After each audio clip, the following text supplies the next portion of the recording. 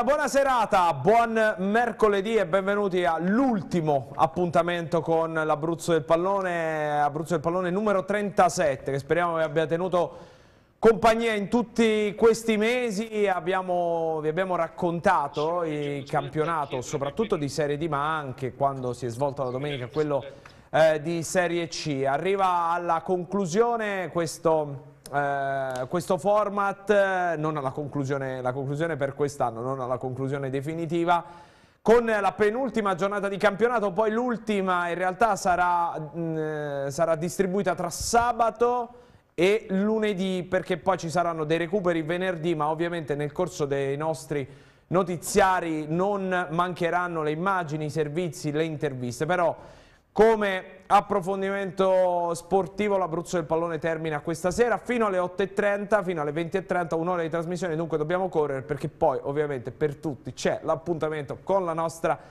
nazionale. Vi ringraziamo tutti coloro che ci vorranno scrivere al 392-623-7060, Whatsapp o SMS. Eh, come detto vi abbiamo raccontato il campionato di Serie D e allora diamo il bentornato, non il benvenuto, il bentornato al Chieti che oggi vincendo a Capistrello torna nella quarta serie nazionale, pomeriggio molto molto bello eh, per i neroverdi di Alessandro Lucarelli. Allora andiamo eh, dal nostro Stefano Recanati, ciao Stefano, eh, che è proprio all'esterno dello stadio Guido Angelini di Chieti, vedo male, no? No, no, vedi benissimo, abbiamo atteso qui il nostro collegamento, ecco. Siamo fatto... qui allo Stadio Angelini. Hai fatto bene perché poco fa, eh, vediamo anche le immagini che hai realizzato, è tornato il pullman del Chieti eh, di ritorno da Capistrello, questa è la gioia e l'entusiasmo per un campionato vinto che è sempre una cosa molto bella eh, e dunque i complimenti vanno alla società, alla formazione neroverde, a, a, insomma, per averci eh, creduto anche dopo lo stop, la ripartenza con sole sette compagini, eh, questo testa a testa con, con l'Aquila prima che il Chieti eh, mettesse la marcia eh, decisiva. Che pomeriggio è stato Stefano? Ovviamente qui vediamo eh, il rientro della squadra, i tifosi del Chieti che aspettavano ovviamente il rientro eh, dell'organico di Alessandro Lucarelli. Sì, un centinaio di tifosi, quello, quelli che hanno atteso dal rientro della squadra da eh, Capistrello vittorioso per 3 a 0 eh, qui all'antistadio davanti al piazzale che poi ci separa pochi metri dallo stadio Angelini, dove poi eh, domenica, eh, alla fine della partita contro eh, l'Arenato Curiangolana, ci sarà eh, la vera festa. Questo è stato solo un antipasto dei festeggiamenti, era giusto anche festeggiare oggi pomeriggio questo risultato, poi ci sarà la partita dell'Italia, ovviamente i festeggiamenti eh, riprenderanno domenica dopo la partita. Che pomeriggio è stato? Un pomeriggio eh, bello per i colori nero-verdi, pomeriggio però che era iniziato con le paure, le solite paure quelle che si erano già viste nella partita contro l'Avezzano perché il Chieti poteva andare subito sotto, c'è stato il primo rigore sbagliato da parte del Capistrello con eh, Franchi, poi il gol eh, del, del, Chieti e poi un, un, altro, il secondo calcio di rigore di giornata sbagliato, questa volta è stato Fantozzi a prendersi la responsabilità di calcio di rigore ma l'ha tirato sopra la traversa. E da qui eh, un po' Lucarelli ha strigliato la squadra, soprattutto la fase difensiva che oggi era molto eh, disattenta e poi da, da, quelli, eh, da quegli incitamenti da parte del, del, tecnico Alessandro Lucarelli è partito un altro Chieti che poi ha fatto il gol del 2-0, poi il secondo tempo è stato eh, solo e pura accademia perché è arrivato un attimo solo il gol del 3-0 e da lì si attendeva solo la festa per il ritorno del Chieti in Serie D dopo un anno eh, di purgatorio eh, che la stessa dirigenza ha commentato con gioia perché ha detto eh, soprattutto il presidente Mergiotti ha detto non è facile riconquistare una, una, promozione dopo una retrocessione, però sono stati bravi a crederci, a crederci soprattutto eh, dopo lo stop di, del campionato che era iniziato dopo la pandemia con un mini torneo. Eh, il Chieti non so se forse era la squadra più forte, sicuramente è stata tra le grandi che partecipavano a questo mini torneo la squadra che ha sbagliato di meno, se siete d'accordo anche con me. Eh, sì, probabilmente è così. Chiedo anche, e gli chiedo Venia per non averlo salutato subito, Andrea Costantini. Ciao Andrea, ma so che eri Ciao ancora un po' indaffarato e quindi sì. ovviamente non, non ti abbiamo disturbato, diceva Stefano, è stata probabilmente la squadra che ha sbagliato meno, la più continua, ecco intanto questo è il triplice fischio e la festa, eh, non possiamo eh, mostrarvi gli highlights della partita per questioni di diritti, ma eh, insomma quello che ci interessa è il ritorno eh, in Serie D del Chieti ai nastri di partenza dell'anno prossimo. Sei d'accordo con l'analisi che ha fatto Stefano? Soprattutto sono d'accordo con le parole di Mergiotti, non era facile ritornare subito e infatti il Chieti aveva avuto tanti problemi eh, ad inizio campionato se torniamo a quel campionato che poi è stato annullato. Però pronti via a settembre Chieti non è partito bene era partita meglio la Delfino e tra le big era partita meglio l'Aquila. Eh, poi eh, c'è stato questo lungo break e dopo questo break sicuramente il Chieti è la squadra che si è ehm, attrezzata meglio e soprattutto è stata quella che ha avuto maggiore compattezza sia in società sia nello staff tecnico e anche nei giocatori. E, questo un po' l'ho capito anche nel vedere quello che è successo all'Aquila con le dimissioni del tecnico Roberto Cappellacci, l'Aquila che sembrava poter partire più avanti nonostante quel, quel break, invece ehm, probabilmente c'erano dei malumori eh, che sono sfociati nelle dimissioni di, di, Cappellacci e che poi hanno fatto sì che, che l'Aquila eh, perdesse quel vantaggio competitivo che aveva acquisito eh, nella prima parte della stagione per quanto quella classifica non valesse più. Il Chieti invece ha saputo resettare, ha allestito un organico importante, Lucarelli si conferma uno dei migliori allenatori eh, per quanto riguarda il campionato di eccellenza, un vincente e sicuramente grazie alla sua sapienza questi ingredienti, cioè questo gruppo è stato ben mixato e la squadra eh, sostanzialmente è andata con il vento in poppa con la ciliegina sulla torta la vittoria dell'Aquila che è stata quella che poi ha consegnato la uh, promozione virtuale ai neroverdi. Assolutamente sì. Eh, intanto queste sono le immagini eh, subito dopo il triplice fischio eh, dedicata a voi eh, era ovviamente lo slogan sulla maglia con la doppia D che ovviamente saluta il ritorno nella quarta categoria eh, nazionale complimenti davvero eh, al Chieti per questo, per questo traguardo. Eh, avete parlato di Alessandro Lucarelli, tra poco lo andiamo ad ascoltare, non solo lui, anche uno degli uomini gol di questo pomeriggio, ovvero Fabrizi, sempre al microfono di Stefano Recanati. Intanto fatemi però salutare in collegamento il direttore sportivo del notaresco Paolo D'Ercole. Buonasera direttore, non so se mi sente. Eh, forse però eh, sei ancora in modalità muto, credo, sì. Sì. Ecco, tra poco.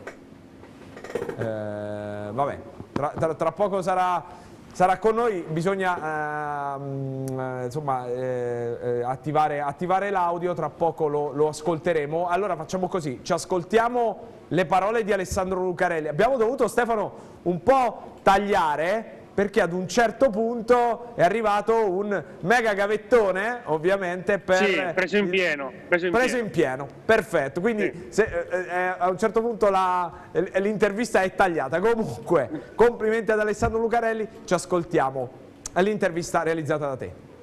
Aveva promesso, solo rimandata di qualche giorno è arrivata la promozione del Chieti, un'emozione incredibile. Sì, ma succede così, è chiaro che domenica abbiamo fatto un, pi un primo piccolo passo falso, ma c'erano tante condizioni per poterlo fare. Bisogna stare sempre tranquilli l'abbiamo vinto nelle prime nove partite, che abbiamo preso quel vantaggio impensabile da colmare, un po' d'ansia ti viene, il braccino corto, però ripeto l'esperienza è questa, quindi noi siamo felici, strameritati meritato, non credo che nessuno possa dire niente, le partite giuste le abbiamo indovinate tutte, le abbiamo vinte con merito e abbiamo saputo costruire un gruppo molto molto importante.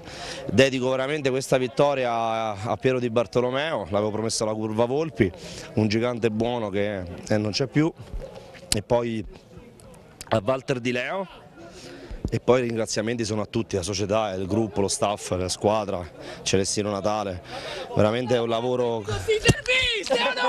Aspettiamo!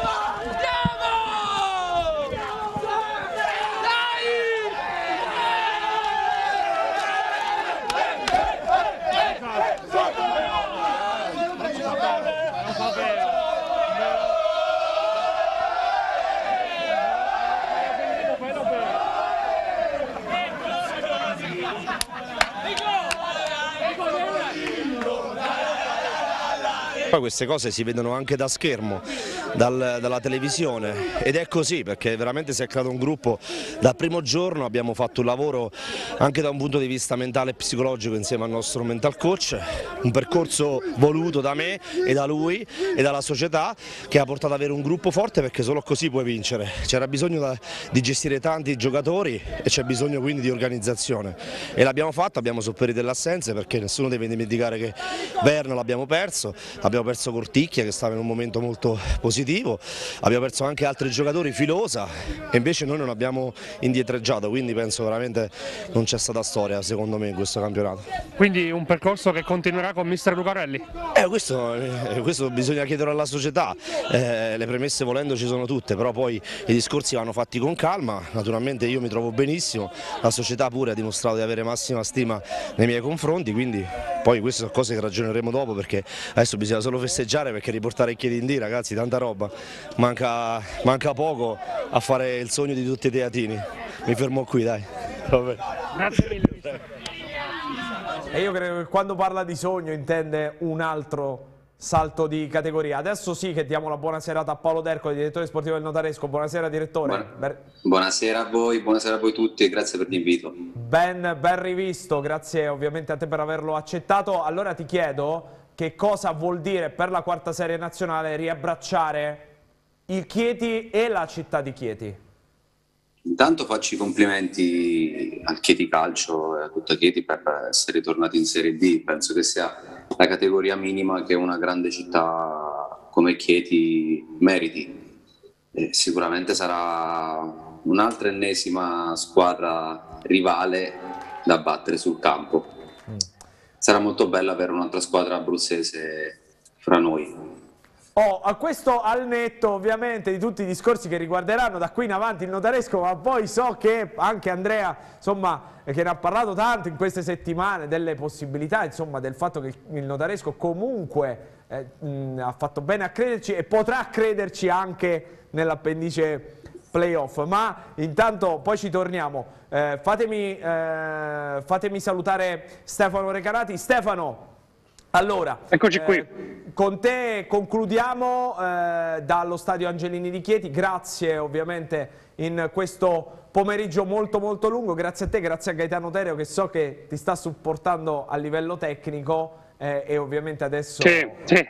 Fi sì, finita sì, la festa si sta... può riprendere la strada di casa. Sì, sì, mi sta facendo, lasciatemi il termine, passatelo da tre piedi umano no, per mantenere il telefono. eh, lo so. Grazie no, Stefano. No, no, a Grazie a voi, grazie, ci vediamo l'anno prossimo. Eh sì. La prossima stagione. Vabbè, noi, noi, ci vediamo prima, poi per, ci vediamo per, con gli amici di Abruzzo del, del Pallone. Sì, sì, a certo. stagione nuova, certo. stagione nuova. Certo. Grazie Stefano. Certo. Ciao. Grazie a voi. Ciao. Oh, oh, eh, eh, adesso andiamo a vedere i risultati del pomeriggio perché non è che li avevamo dimenticati, ma avevamo dato spazio alla promozione del Chieti. Con l'ausilio della grafica, eh, tanti pareggi, una vittoria, quella della Vastese contro l'Atletico Porto Sant'Elpidio. Eccoli qua i risultati. Campo Basso Fioggi 1-1, Vasto Gerardi Recanatese 2-2. Queste partite sono iniziate alle 15. Castelfidardo Agnonese 4-0, Castelnuovo Rieti 1-1, stesso risultato per Cinzia Albalonga e Tolentino e per Matese Pineto e questo è un risultato, quello del Pineto, fondamentale. Noi avevamo detto domenica, sempre durante la del pallone, il Pineto ha l'obbligo di uscire indenne da Piedimonte Matese, ce l'ha fatta, pur essendo andata sotto, eh, ce l'ha fatta a conquistare un punto che potrebbe essere determinante nella corsa playoff. Monte Giorgio Aprilia 0-1, Notaresco Giulianova, unico scontro tutto abruzzese della giornata 2-2, Vastese Porto Sant'Elpidio 1-0. Vediamo a 90 minuti dal termine qual è la classifica con il Campobasso che ha festeggiato domenica e ve l'abbiamo raccontato, 72 punti, seconda forza del campionato il Notaresco, matematicamente secondo. E poi mischione mucchio selvaggio direbbe Andrea eh, citando un noto telecronista nazionale. Ehm, Cinzia Albalonga, Pineto e Matese 53, in questo momento queste eh, sono le qualificate playoff, Notaresco, Cinzia Albalonga, Pineto e Matese, la prima delle escluse sarebbe il Castelfidardo 52, 48 per la Vastese e 47 per il Castelnuovo che avrebbe a una ipotesi remotissima perché deve recuperare due partite di qualificarsi ai playoff, ma è veramente remota. Poi io, Andrea, provate a spiegarmela, io devo dire la verità, dopo un po' mi sono perso e poi magari ci prova lui che è molto molto più bravo di me. 45 punti per il Monte Giorgio 44 per Recanatese e Rieti Aprilia 40 per Fiugge e Vasto Girardi 37 per il Tolentino 31 per Giulianova 14 per Atletico Porto Sant'Elpidio e Agnonese che salutano questo campionato e tornano nel loro campionato di eccellenza di riferimento Molisano e Marchigiano. Allora Andrea eh, tu hai detto in più di una circostanza che il notaresco faceva bene a crederci poi è arrivata domenica la vittoria del Campobasso, possiamo anche rivedere un po', un po di immagini, ma se dovessi dare un consiglio a Paolo D'Ercole, al Notaresco, da qui alla fine dei playoff, che, che consiglio gli daresti?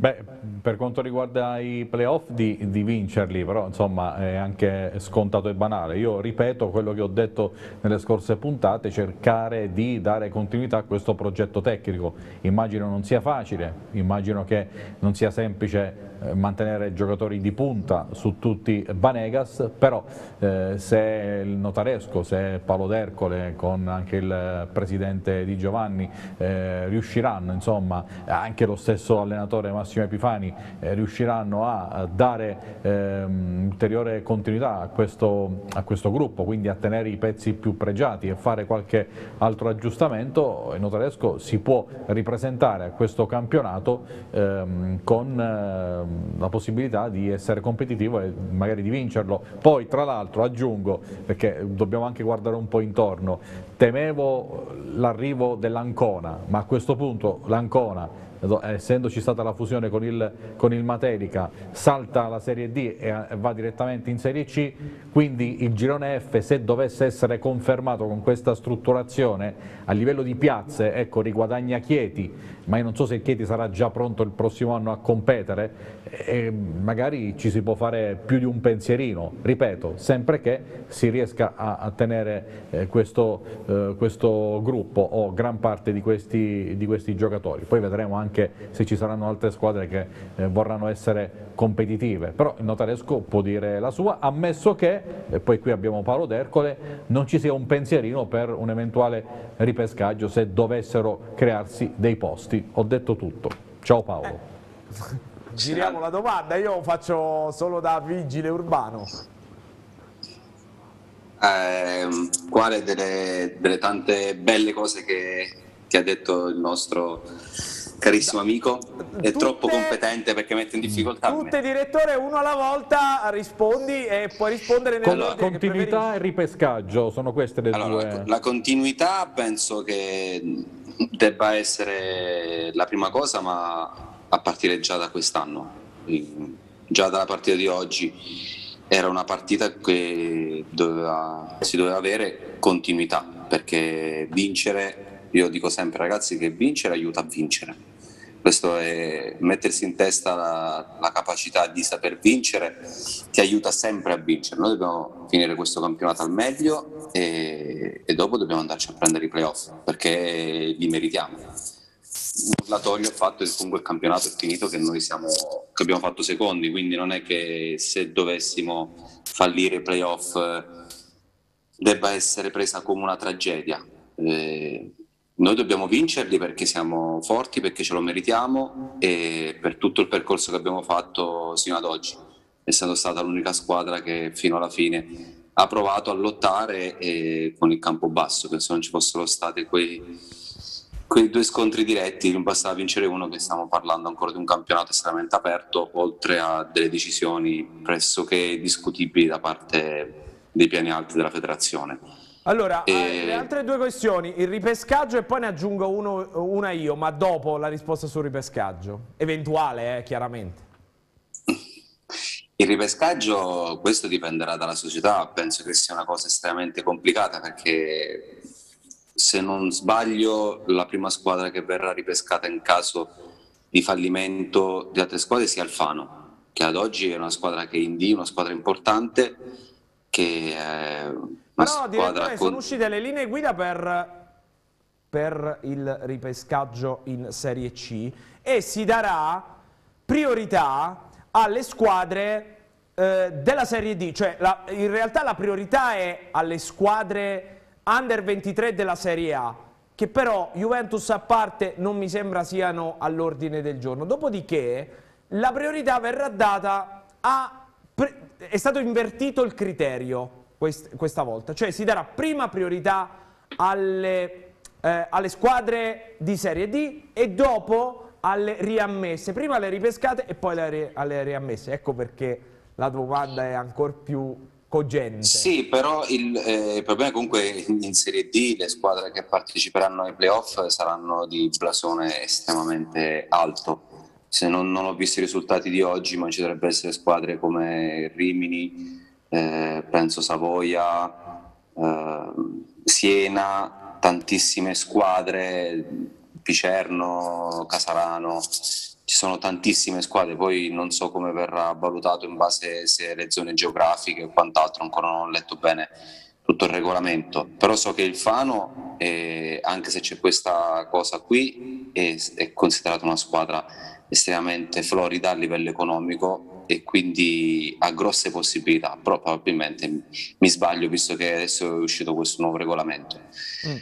Però penso, sono... non penso sia semplicissimo fare il ripescaggio perché sono soldi a fondo perduto, tanti mm. soldi a fondo perduto, quindi non, non, penso che sia la cosa migliore da fare, però questa è una domanda che dovreste fare più alla società. Io... Noi ancora abbiamo pensato a questo, noi stiamo pensando a finire il campionato al meglio, poi la società eventualmente prenderà le sue decisioni. Ti faccio vedere il servizio del pareggio di oggi, notaresco Giulianova, Giulianova. è terminata 2 a 2, vediamo. 4 metri, due palle ed una traversa. Savini invece Godini di getto fino all'ultimo, quello tra Notaresco e Giulianova. Ok, rientriamo, rientriamo, rientriamo che c'è un problema. Allora ne approfitto per chiederti se c'è un po' di rammarico, direttore, per quello che poteva essere e non è stato. Adesso a bocce ferme. Quello che poteva essere... Sì. Eh, che ti devo dire Jacopo, io penso che abbiamo fatto un grande campionato. Il rammarico c'è sempre, c'è anche l'anno scorso. Eh, non, è, non vedo un rammarico, sono successe delle cose, è un campionato particolare. Abbiamo, sono 11 mesi che siamo in campo, abbiamo perso 5 calciatori che hanno avuto infortuni importanti, calciatori importanti per noi eh, li abbiamo sostituiti al meglio, però comunque sai bene che sostituire i calciatori non è solo una questione tecnica, ma è anche una questione eh, anche di, di, gruppo ambientale. Mi senti? Okay. Sì, sì, ti sento, ti sento, puoi continuare. Ah, ok. E quindi ci sono tanti aspetti da valutare. Abbiamo perso un giocatore per noi molto importante come Banegas nel, nel rush finale per sette partite. I ragazzi hanno, fatto, hanno dato tutto, però sapete anche che quando perdi un giocatore che in quel momento era in, in stato di grazia, non è semplice sopperire a quello. Poi ci si è messo anche la decisione della, della federazione di bloccare i play-out che ancora non, riesco a capacitarmi perché non trovo ancora la motivazione visto che si fanno i playoff e non si fanno i playout. Mm. Con questo però non tolgo nulla alla vittoria del Campobasso che ha fatto un ottimo campionato, una grandissima squadra e ha meritato di vincere visto che i due scontri diretti sono stati a loro favore e quindi di conseguenza è giusto che loro abbiano avuto la meglio, quindi onore ai vincitori ma anche onore ai vinti. Assolutamente, assolutamente sì. Eh, allora, noi stiamo per andare a vedere la, la partita di questo, di questo, pomeriggio tra Notaresco eh, e eh, Giulianova, è terminata, è terminata 2 a 2. Vedo, Andrea, guarda, facciamo una cosa, dammi direttamente il via te, quando finisce la barra verde. Sì, 10 secondi. 10 secondi, sì. 10 secondi. Così ci vediamo la partita di questo pomeriggio. Eh, lo so, bisogna, bisogna a volte eh, ripassarlo, ecco qua. Sta per arrivare? Sì, direi che ci siamo. direi che ce l'abbiamo. Notaresco eh, Giulianova terminata 2 a 2. Quattro reti, due pali ed una traversa. Al Savini match godibile ed incerto fino all'ultimo, quello tra Notaresco e Real Giulianova. Due squadre che hanno già definito i propri obiettivi. 2 a 2, un pari, il sesto in casa, il decimo in stagione per i rossoblù di casa, acciuffato in rimonta dopo un ottimo avvio dei giuliesi. Notaresco in emergenza per l'occasione, oltre agli infortunati di lungo corso Bianciardi, Cancelli e Colombatti, out pure Banegas e all'ultimo istante Montuori. Per squalifica invece non sono a disposizione Mancini, Marchionni e mister Epifani, sostituito dal vice Falasca. Speranza e Frulla in panca in vista dei playoff e Ghiani ad affiancare Gallo al centro della difesa, Sorrini e Di Stefano sulle corsie esterne a centrocampo maglia da titolare per Massarotti e Paganin. Leonardo Bitetto recupera De Cerchio e Caso assenti contro il Matese, davanti la coppia è formata da Paudice e Barlafante. Avvio mortifero da parte dei giallorossi che trovano il doppio vantaggio ancora prima del quarto d'ora. L'avvisaglia arriva al quarto quando Massetti, uno degli ex, impegna Shiba. Cinque giri di lancette più tardi il vantaggio che arriva a seguito di uno scambio tra Paudice e Barlafante. Assist del primo, tiro a giro sul secondo palo del secondo. 0 a 1. Neanche il tempo di annotare l'azione che al tredicesimo arriva anche il bis giuliese con Paudice che svetta di testa e mette dentro un calibrato cross di Massetti. Notaresco 0, Giulianova 2 al tredicesimo. Sotto di due gol il Notaresco inizia a carburare, Palumbo prova ad impensierire al diciottesimo di Mango, senza fortuna. Dea bendata non amica dei padroni di casa neanche alla mezz'ora, quando il palo respinge il colpo di testa di Dos Santos dopo un'iniziativa di Palumbo. Momento sliding doors sul finale della prima frazione. Al 42esimo è prorompente l'azione di Paudice che parte dalla propria metà campo, entra in aria e conclude. Intervento reattivo di Shiba che respinge ed evita la capitolazione. Dal possibile 0 a 3 neanche un minuto più tardi il notaresco accorcia grazie a Dos Santos servito dalle retrovie. L'attaccante Carrioca supera in uscita di Mango e deposita in rete la nona marcatura personale in campionato 1 a 2. Con le immagini di Fabio Fedeli passiamo alla ripresa che si apre con una ghiotta occasione all'ottavo per Palumbo che in area da favorevole posizione viene chiuso dalla difesa giallorossa. Cinque giri di lancette più tardi è pericoloso ancora il Real Giulianova con Barlafante che sguscia via, tiro che coglie il palo esterno e termina sul fondo. Il terzo legno di giornata arriva al sedicesimo quando Palumbo prova a sorprendere Di Mango. La traversa salva la difesa ospite e nega il pari ai padroni di casa. Sono i rossoblù a spingere la ricerca del pari. Al diciannovesimo quadro, sotto porta non trova lo specchio della porta di testa, mentre al ventiseiesimo è superlativo l'intervento di Di Mango sulla deviazione ravvicinata di Dos Santos.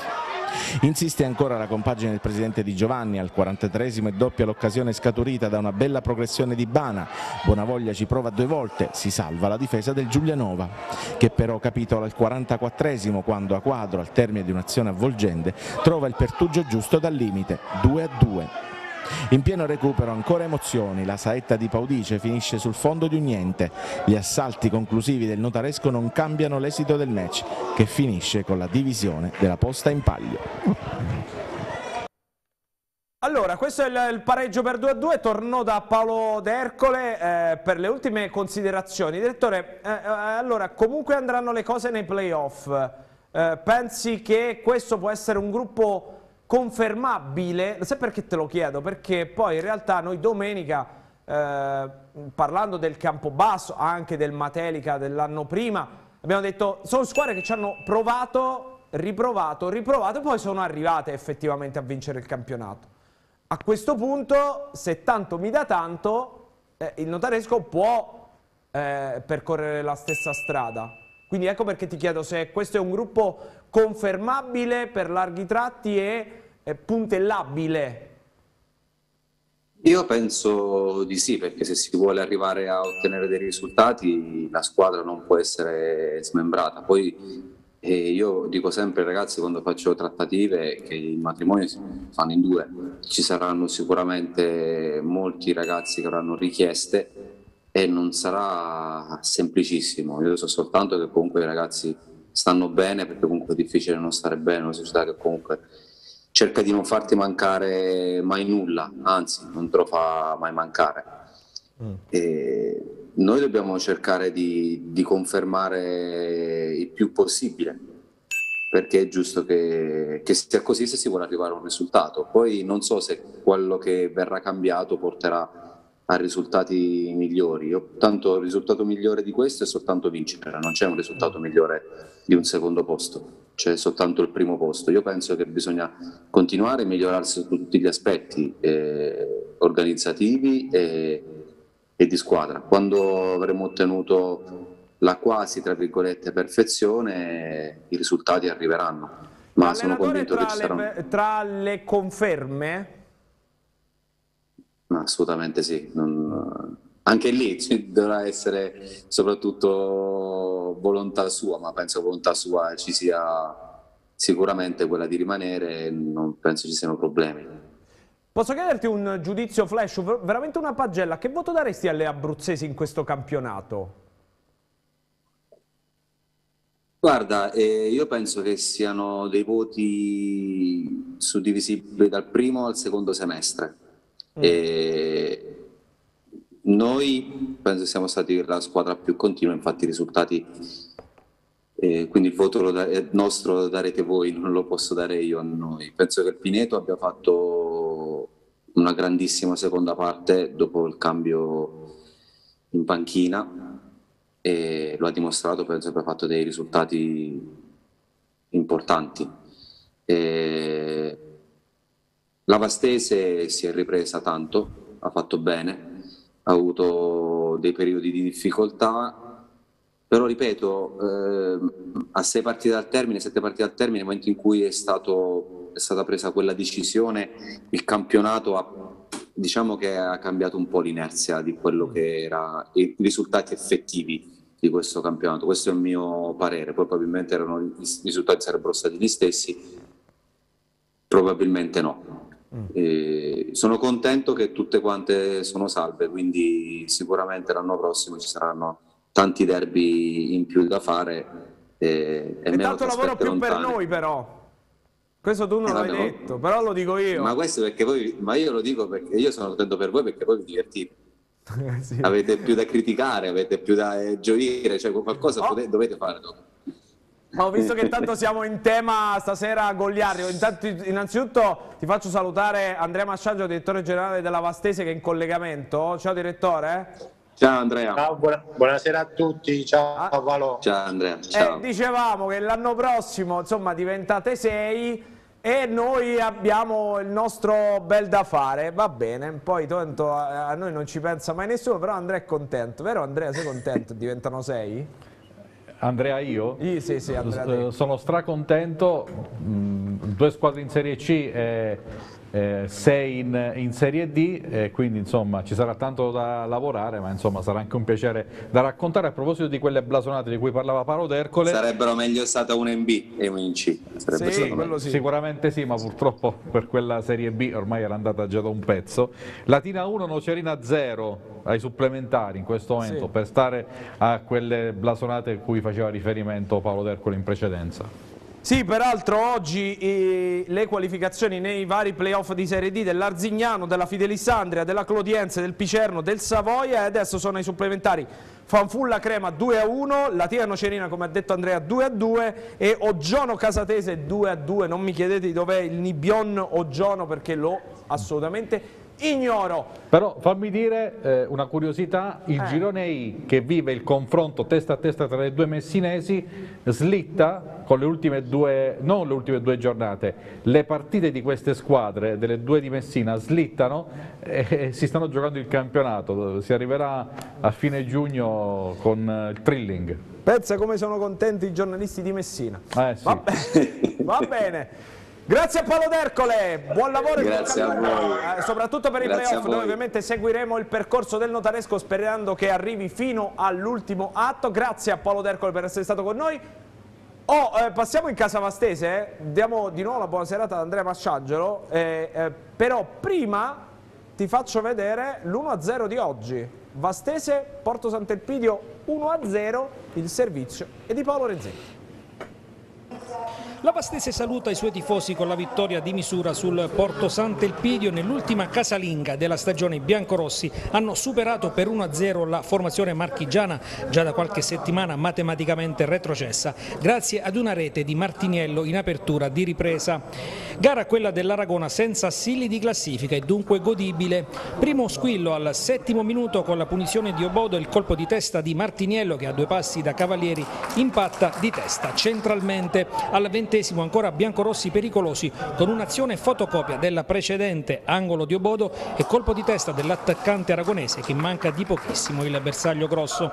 Gara giocata a ritmi bassi e con il prevedibile pallino del gioco in mano ai ragazzi di Dadderio. I marchigiani però si difendono con ordine, non disdegnando qualche sortita in avanti. Al ventiduesimo minuto Martiniello per la Vastese ci prova per la terza volta, girando in area un cross di Diarra e trovando questa volta una deviazione in angolo. Attacca la Vastese che al 39esimo arriva ad un passo dall'1-0 con il portiere marchigiano che con un grande intervento nega il gol a Diallo.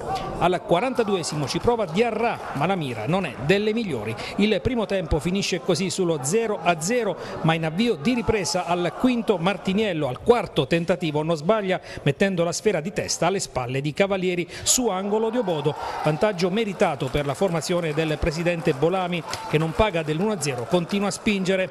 Al decimo proteste abruzzesi per un prosenuto tocco con la mano in area marchigiana di Aliffi su cross di Diarra, Mastriamo di Salerno lascia proseguire.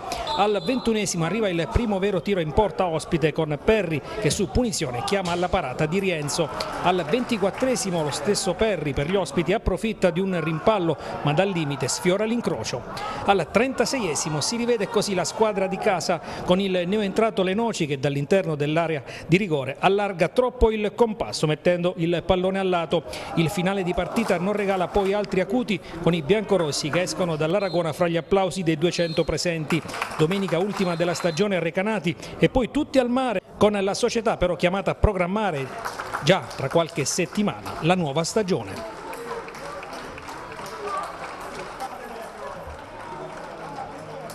E dunque vittoria 1-0 contro uno dei due fanalini di coda Atletico Porto Sant'Elpidio. Eh, direttore, hai sentito eh, Paolo Renzetti poi ultima, poi tutti al mare. Io non so se te ci, ci, ci, ci andrai, non lo so, eh, però immagino Purtroppo di sì. no. Ah, è perché devi programmare, come ha detto Paolo, la stagione. No. Ah, No, perché il 19 luglio ho l'esame del corso a Coverciano, quindi Eh, allora finita domenica dovrò studiare qualcosa perché sennò eh, fa- non riuscirò a prendere questo patentino. E allora in bocca al lupo ovviamente per l'esame di Coverciano, poi però bisognerà eh, pianificare la stagione che verrà. Ora io ti chiedo, la stagione che è stata invece, che bilancio Ah, La stagione è stata, è stata travagliata, lunga, però rammarico c'è perché penso che se nella seconda parte del campionato non- a marzo non fossimo incappati nel Covid, quindi venivamo già da 10 risultati utili consecutivi, la squadra era sempre crescendo, penso che sicuramente potevamo fare qualcosa in più, arrivare eh, nella, nella griglia dei playoff. Questo si vedeva un lavoro che, che continuava e ci vedeva dei miglioramenti. Purtroppo lì ci si è interrotto e quello che sta succedendo adesso secondo me è perché abbiamo ripreso un certo tipo di lavoro, un certo cammino, i giocatori sono usciti eh, dalla situazione fisica precaria dovuta, ripeto, a questo Covid e quindi c'è un po' di rammarico. Adesso ultimiamo domenica e poi magari ci riposiamo qualche giorno e vediamo il futuro. Se mi permetti Jacopo, visto che prima hai parlato eh, di un abruzzese che si aggiunge, fare i complimenti alla città di Chieti, a tutti i tifosi del Ecco. Chieti, alla società, in particolare al mio amico Antonio Mergiotti perché se lo merita e quindi gli faccio i complimenti con un abbraccio caloroso perché so quanto ha sofferto, so quanto ci teneva. Eh, un abbraccio a tutti eh, di cuore. Assolutamente, assolutamente. Peraltro, insomma, penso che ti faccia particolarmente piacere un- una città dove hai lavorato ultimamente che ritrova la, la Serie D che aveva perduto un anno fa. Ehm, visto che tra poco, insomma, eh, ti dobbiamo lasciare per dar spazio anche agli altri servizi, però allora, eh, eh, continua da, da qualche giorno questo, Andrea, questo batti e ribatti tra eh, oggi anche Paolo, eh, no datemi Andrea Costantini, questo batti e ribatti tra eh, oggi Paolo Dadderio, Paolo Renzetti con Dadderio, rimani? Ah, e, e- e Dadderio che, che è un dribblatore da competizione davvero? Perché dice no io sono abituato a sedermi, a, eh, chi vivrà vedrà, l'altra volta insomma... eh, mi dici in 10 secondi poi chiediamo a Andrea Masciangelo lui che sensazioni ha, in realtà ce lo dovrebbe dire ma non ce lo dirà mai. Tu, tu, che sensazione hai alla fine? Alla fine si siederanno Ma, a tavolino, troveranno... Se dovessi stare alle sensazioni a quello che continua a dire D'Adderio, direi che è difficile la sua permanenza. Anche l'altra volta a Tolentino, chi vivrà vedrà, se, se vivremo vedremo e capiremo. Vabbè, eh, però anche le parole pronunciate dopo la partita contro la Cinzia giocata a Pineto, insomma, mi facevano capire che è difficile la sua permanenza, difficile ma non impossibile. Se poi sedendosi a tavolino col, col Presidente eh, vedrà che c'è margine per poter lavorare d'amore e d'accordo d'accordo in vista della prossima stagione, però insomma le, le, prime sensazioni, i primi exit poll non mi sembrano rassicuranti sotto questo punto di vista. Però gli exit poll poi possono essere sovvertiti certo, dalle proiezioni, certo, quindi certo. le proiezioni, eh, bisogna entrare nel merito della questione, le proiezioni, che proiezioni ci sono? Lì a Basto? Intanto stasera stiamo dal ristorante da, dal presidente e quindi saremo tutti a cena con la squadra, il mister sarà al nostro fianco. Ah, ok. E, e, magari, sai, da una birra e un'altra vediamo cosa succede.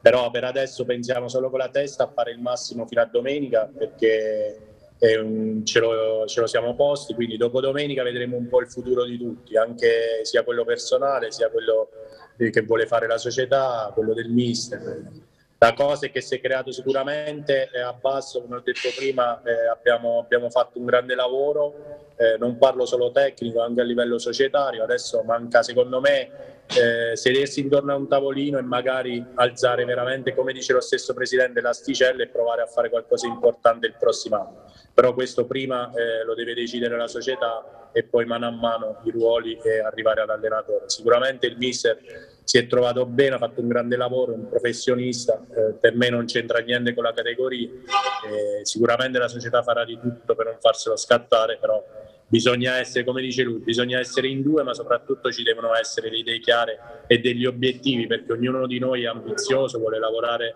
in una certa maniera e quindi bisogna, bisogna fare le cose per bene. Quindi assolutamente. Masciangelo non so se resta... Sbaglio o ho capito male? Come? Anche, anche, il direttore Andrea Masciangelo non sa se, se resta, oltre a Dadderio c'è anche questo, quest'altro dubbio? Ma bisogna, vedi Andrea, eh, diciamo che col corso che effettuerò il 19 luglio c'è, c'è il raggiungimento di un traguardo. In questi anni ho fatto sia il direttore generale sia anche altri ruoli nella Teramo Calcio e penso di essere pronto a fare qualcosa di diverso, quindi ne parlerò con la società e voglio fare di questo il mio lavoro, quindi è una cosa che poi parleremo con loro e vedremo.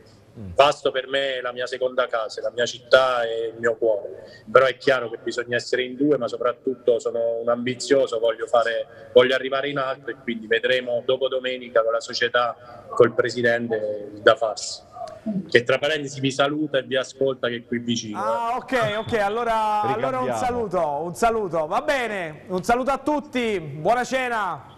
Grazie, ciao a tutti, ciao Andrea, ciao, ciao Jacopo. Ciao Andrea. Buona ciao. serata, una buona serata. Oh, noi stiamo per andare in pubblicità, però vi do, vi do una notizia clamorosa. Andrea, ti do una notizia clamorosa. Gattuso. Gattuso sta per andare via dalla Fiorentina. Sì. Cioè, appena arrivato sì. tensioni, imposizioni di Mendes sul mercato. Esatto. Eh, tensione Gattuso Fiorentina potrebbe andare via. Vabbè, pazzesco. Pubblicità, torniamo tra poco. Eccoci rientrati, ultima parte per eh, questa sera che chiudiamo con eh, i due servizi che, delle abruzzesi che ci restano da vedere. Sono due uno a uno. Quello del Pineto importantissimo sul campo del Matese e quello del Castelnuovo 1 a 1 contro il Rieti. Vediamo.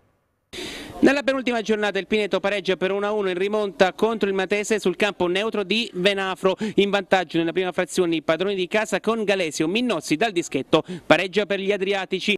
Proscenio finale di una stagione infuocata domenica contro il Campobasso per i biancazzurri allo stadio Mariani Pavone con tre squadre appaiate a 53 lunghezze. Calcio d'inizio per i padroni di casa, parte forte la squadra di Urbano Adusa sul fil di lana, scarica al centro e Galesio da due passi non ha problemi a insaccare la sfera, sempre l'11 Campano prova a fare la partita, Barone dal limite sfiora la traversa, al ventesimo i biancazzurri non ci stanno, traversone dalla destra, tocco di mano di Cassese e calcio di rigore, Minnozzi Minnozzi dal dischetto rimane glaciale, spiazza Kuzmanovic e trova il quattordicesimo centro personale. La squadra adriatica prova subito il sorpasso, Minincleri pennella Mesisca da ottima posizione, spedisce la sfera sul fondo, i lupi provano a rimettere il muso davanti, azione personale di Adusa, Mercorelli devia in corner. Ancora i Verdeoro sfiorano il 2-1, l'Angellotti conclude, Mercorelli forse con la punta delle dita devia quel che basta e il pallone si stampa sulla traversa, botta e risposta abruzzese, Minincleri incoccia, sfera che bacia il montante alto e si spegne sul fondo. Nella ripresa il Pineto vuole il vantaggio, Midincleri, tacco per Bugaro e assist per Galliano, il bisturi del centrocampista uruguagio non trova Minnozzi per millimetri, l'11 ospite vuole l'intera posta, cross per Mastrippoito, Kuzmanovic smanaccia e salva i suoi, la partita è vibrante, sul capovolgimento di fronte Galesio sale in cielo, palla fuori di poco, il match si appisola e non succede più nulla, le due squadre si dividono. Dunque la posta in palio preannunciando un finale di stagione caldissimo con le due compagini insieme al Cinzia Albalonga appaiate a 53 lunghezze. Terzultimo atto per il Castelnuovo che ospita il comunale il Rieti e che venerdì sarà atteso a Recanati nel recupero contro i Leopardiani per poi chiudere la stagione domenica contro il Giulianova. Senza guido di Fabio in panchina e capitano Terrenzio squalificati, il vice Ferretti schiera Morganti e Ndoi al centro della difesa. In attacco rientra Fagioli nel tridente con Manari e Di Ruocco. Assenze pesanti anche in Casarieti, Raffaele Battisti deve rinunciare al difensore Zona, fermato dal giudice sportivo per ben quattro giornate a cui si aggiunge la squalifica di Marchi nel 3-5-2 e Mattei a dettare i tempi in avanti la coppia Vari d'Alessandris. Gara molto equilibrata in avvio con le due squadre che si annullano a vicenda, bisogna attendere il 26esimo per vedere la prima vera occasione dell'incontro quando sugli sviluppi di un calcio d'angolo d'Alessandris calcia a botta sicura da distanza ravvicinata costringendo Olivieri ad un vero e proprio miracolo, salva i suoi l'estremo locale che tiene la partita sullo 0-0, ancora Rieti pericoloso pericoloso al 32esimo con il colpo di testa ad incrociare di Vari che esce fuori di poco. Break dei locali al 35esimo con la conclusione da fuori di Fagioli che termina fuori bersaglio ma un minuto più tardi è ancora una volta Olivieri ad essere decisivo per i suoi disinnescando la conclusione ravvicinata di un mobile Vari. La prima frazione termina così senza reti. In apertura di ripresa un cambio per parte, il Rieti sostituisce Nobile con Esposito mentre il Castelnuovo inserisce Lorenzo Emili per Basilico, tornando al classico 4-2-3-1, ma la prima conclusione nello specchio della porta è per i laziali che al settimo vanno due volte alla conclusione, prima con Esposito, poi con Bari, ma in entrambi i casi si frappone con efficacia ancora una volta un super Olivieri che dice no anche un minuto più tardi a Mattei, guadagnandosi la palma di migliore in campo per i locali. Locali che al quattordicesimo si fanno vedere con una punizione dal limite di Loviso che termina di poco alta sulla traversa traversa. Il Castelnuovo alza il baricentro e un minuto più tardi ancora Loviso prova direttamente dalla bandierina del calcio d'angolo con l'estremo laziale che si salva con l'aiuto della traversa e sugli sviluppi del corner successivo il Castelnuovo va vicinissimo al vantaggio. Fagioli rimette in mezzo per l'accorrente Morganti che incredibilmente spreca da due passi. La pressione dei locali si concretizza al minuto 20 con una grande azione personale di Degidio che si incunea in area dalla destra supera due avversari, si accentra e deposita in fondo al sacco la rete dell'1-0 e l'undicesimo centro stagionale. Nel secondo tempo il Castelnuovo suona tutta un'altra musica e al ventottesimo potrebbe anche raddoppiare, ma Fagioli di testa è impreciso e spreca da ottima posizione. Alla mezz'ora problemi muscolari per Lorenzo Emili, costretto ad uscire anzitempo dal terreno di gioco. Al suo posto entra Gentile. Al 34esimo si fa rivedere il Rieti in avanti avanti con un diagonale di D'Alessandris che chiama ancora una volta la respinta coi piedi Olivieri. Prova a complicarsi la vita il Castelnuovo al quarantesimo. Ingenuo Fagioli va al contrasto con Montesi nel tentativo di recuperare la sfera e rimedia il secondo cartellino giallo di giornata lasciando i suoi in 10 nel finale e al 41esimo il Rieti tenta il tutto per tutto con il tentativo in rovesciata di Tuncara ma Olivieri dice ancora una volta no ma in pieno recupero al 49esimo quando il Castelnuovo pregustava già la vittoria, il Rieti pareggia. D'Alessandris si libera così di Degidio, il direttore di gara non ravvisa il fallo tra le proteste locali, la sfera arriva a Esposito che in extremis fa 1 a 1, termina tra le proteste neroverdi al comunale con un pareggio che ha il sapore della beffa per il Castelnuovo che così vede ridursi al lumicino le ultime speranze playoff. Oh, due pareggi dal sapore sostanzialmente diverso. Intanto Andrea stanno arrivando delle notizie che riguardano il eh, calendario. Perché? sì. Il Castelnuovo deve recuperare venerdì con la Recanatese e poi però c'è la possibilità che possa essere anticipata a domenica.